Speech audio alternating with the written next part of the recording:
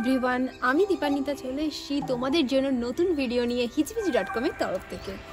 আশা করি তোমরা সবাই খুব ভালো আছো আর আজকের ভিডিও তোমরা খুব এনজয় করবে। আমাদের এবারের সফরটা একটু আলাদা। অন্য সব বারের মতো কোচবিহার থেকে রওনা না দিয়ে এবারে রওনা দিলাম আমার শহর থেকে নতুন দিগন্তের উদ্দেশ্যে। আমরা সকাল সকাল বেরিয়েছি সাইথিয়া থেকে। হ্যালো আমরা সবাই মিলে আজকে নতুন একটা জায়গা দেখতে যাচ্ছি। আজকে আমরা কোথায় যাচ্ছি সেটা জানতে গেলে আর এখানকার স্টোরিটা শুনতে গেলে এই ভিডিওটা মন দিয়ে দেখতে হবে। পৌরাণিক কাহিনীর মোড়কে মোড়া বীরভূমের একটা অববিট প্লেসের উদ্দেশ্যে আজকে আমরা চলেছি যেটি এখনও পর্যন্ত সেরকমভাবে জনপ্রিয় হয়ে ওঠেনি। আজকে আমরা কোথায় এসেছি সেটা বলছি। তার আগে বলে নিই আমরা এর আগের ভিডিওতে যেই যেই জায়গাগুলো দেখেছি, তোমরা আশা করি সেগুলো দেখে ফেলেছো। আর না দেখে ফেললে অবশ্যই ওপরের আই বাটনে ক্লিক করে আর না হলে নিচের ডেসক্রিপশন বক্সে লিঙ্কে ক্লিক করে অবশ্যই ভিডিওগুলো দেখে ফেলবে। এবার আসি আজকের ভিডিওতে। আজকে আমরা এসেছি একটা অন্য ধরনের ভিডিও নিয়ে। সুদূর হিমালয়ের পাদদেশ ছেড়ে আজকে আমরা বীরভূমের লাল মাটির পথ ধরে চলেছি ভান্ডির বনের উদ্দেশ্যে। ভান্ডির বনে পৌঁছানোর আগেই বলে নিই, এই ভান্ডির বনে আপনারা পৌঁছাবেন কীভাবে? ভান্ডির বন থেকে সব থেকে কাছের স্টেশন হলো শিউরি মাত্র এগারো কিলোমিটার ডিস্টেন্স। এছাড়াও বোলপুর বা সাঁইথিয়া থেকে গাড়ি ভাড়া করে অনায়াসেই এখানে আসা যায়। একটা সুন্দর গ্রাম্য পরিবেশ উপভোগ করতে করতে আমরা প্রায় মূল মন্দিরের কাছাকাছি চলেই এসেছি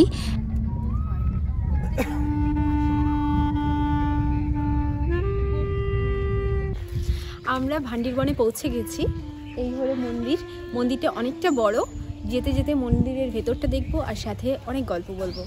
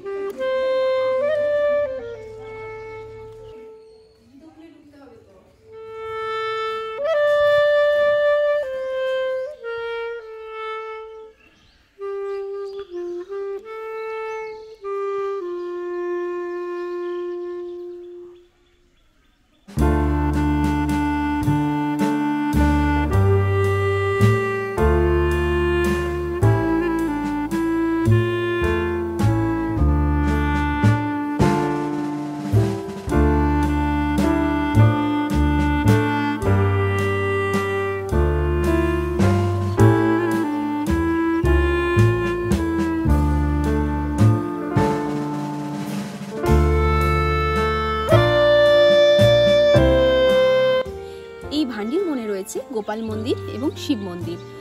এই গোপাল মন্দির আজ থেকে অনেক বছর পুরনো একটা মন্দির। এই গোপাল মন্দির এবং শিব মন্দির প্রথমে থাকে বর্ধমান রাজার অধীনে। পরে মুর্শিদাবাদের দেওয়ান এসে এখানে প্রথম গোপাষ্টমী চালু করেন।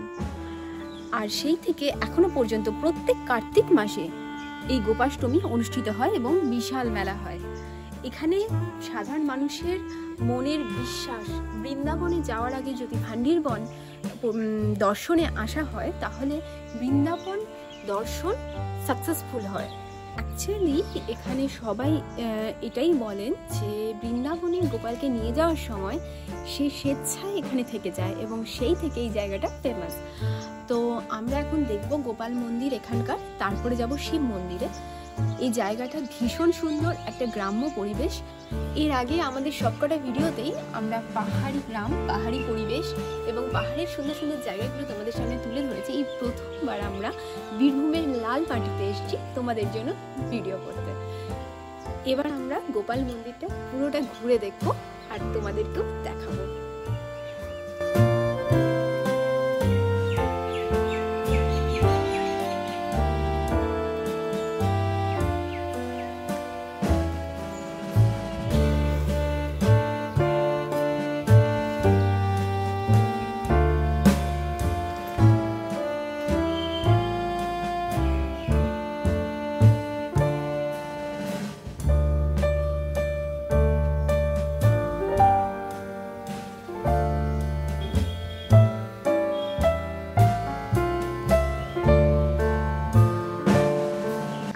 মন্দিরেই থাকেন তো?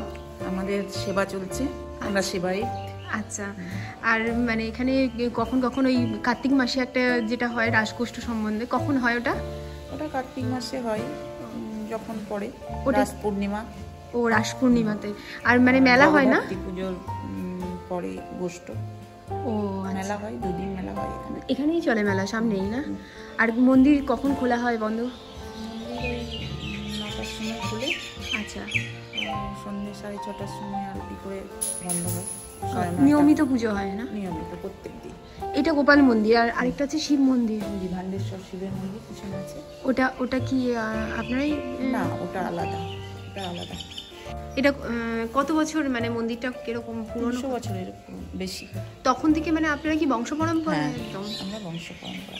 ওই সেই তখন থেকে আপনাদের সেবা হয়ে আসছে মন্দিরে। আচ্ছা। এটা হচ্ছে গোপালের ভোগ ঘর। এখানে প্রতিদিন নিয়মিত ভোগ রান্না হয় গোপালের জন্য এবং সেই ভোগ ভক্তদের মধ্যে বিতরণ করে দেওয়া হয়।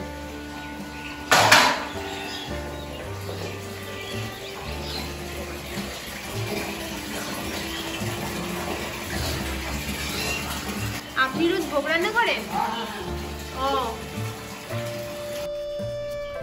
আমার সামনে যে গাছটা রয়েছে, এটা হচ্ছে সিদ্ধ বকুলের গাছ। এই গাছটা সেম বৃন্দাবনেও একটা আছে, আর এখানেও একটা আছে।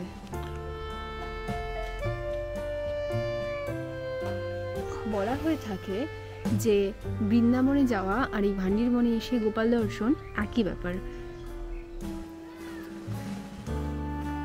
গোপাল বাড়ি ঘুরে এখন আমরা চলেছি শিববাড়িতে।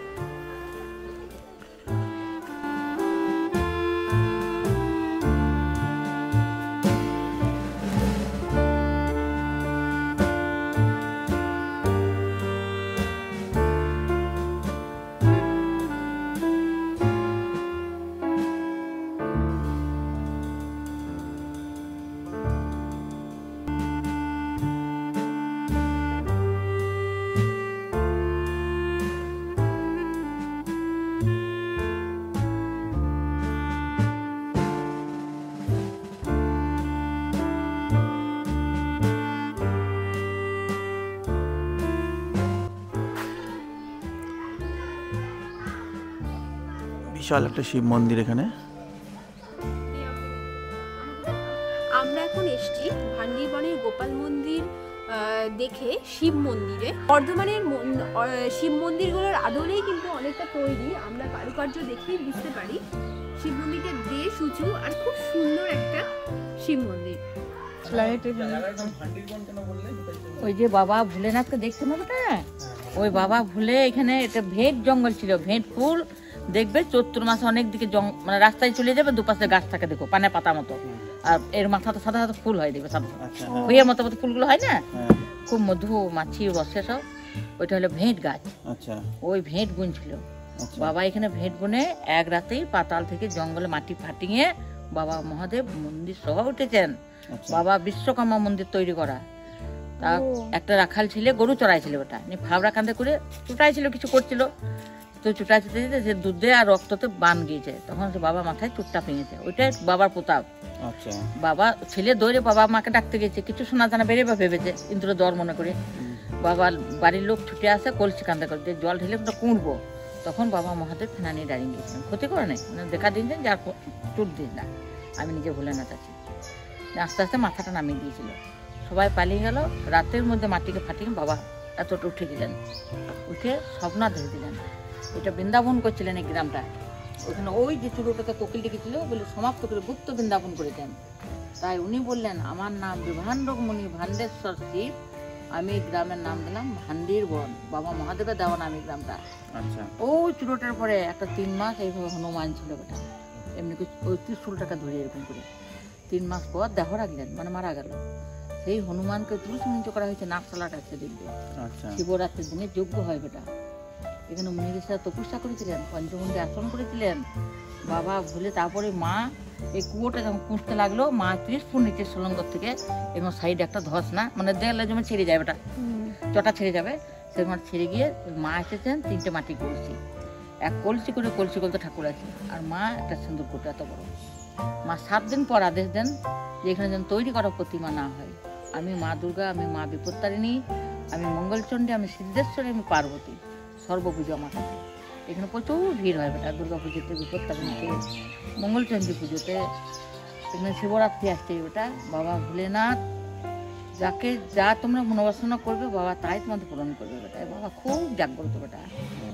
আমরা মা আমরা একাই সেবাই বাবা একবারই একাই। এক আমার হাতে তোমরা কি বংশ পরম্পরায় হ্যাঁ বংশ পরম্পরা একবারই এটা কত বছর পুরনো হবে বহু মন্দির পুরাতন ভোগ কখন হয়? ভোগ তিনশো পঁয়ষট্টি দিনে বেটা। দুপুরবেলায় ভোগ আলাদা সন্ধ্যেবেলায় শীতল আরতি ফল মিষ্টি যা জোটান ঠাকুর বেটা। তিনশো পঁয়ষট্টি দিনের ব্যাপার একদিন কার তলায় বেটা। সকালে যেমন ঠাকুর জোটান দুটো ফল মিষ্টি। তারপরে বারোটা একটা সময় এই দুপুরবেলা একটা ভোগ আবার আড়াইটার সময় একটু ফল মিষ্টি খানা থাকে রান্না টান্না কি আপনারাই হ্যাঁ আমি সব করি। এখানে বিয়ে পৈতে অন্নপ্রাশন সব হয় মা। এখানে ভোগ খাওয়া বিয়ে অন্নপ্রাশন সব কিছু সেই অনুষ্ঠানটা আলাদা ঠাকুর এনে করতে হয়। কোনটা বেটা ওই যে অন্নপ্রাশনের ভোগ টোগ যদি হয়। না আমি নিজেই করি সব তারা দু পাঁচ দিন আগে এসে বলে জানিয়ে যাবে আবার খরচা দিয়ে যাবে হ্যাঁ। আমি সব রান্না করব যত লোক খাক দুশো দুশো খাক পাঁচশো খাক হাজার খাক ভোগ রান্না করে ভোগ বিতরণ করে ভোগ খাওয়াবো।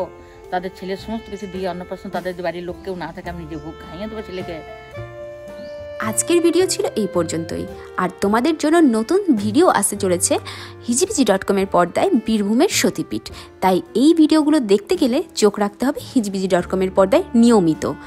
আর আমাদের আজকের ভিডিওটা কেমন লাগল সেটা আমাকে কমেন্ট বক্সে কমেন্ট করে জানাতে একদম ভুলো না। আর আমাদের ভিডিওকে অনেক বেশি বেশি করে লাইক করো শেয়ার করো সাবস্ক্রাইব করো আর পাশের বেল আইকনে অবশ্যই একটা ক্লিক করে দেবে। আজকের মতো থ্যাংক ইউ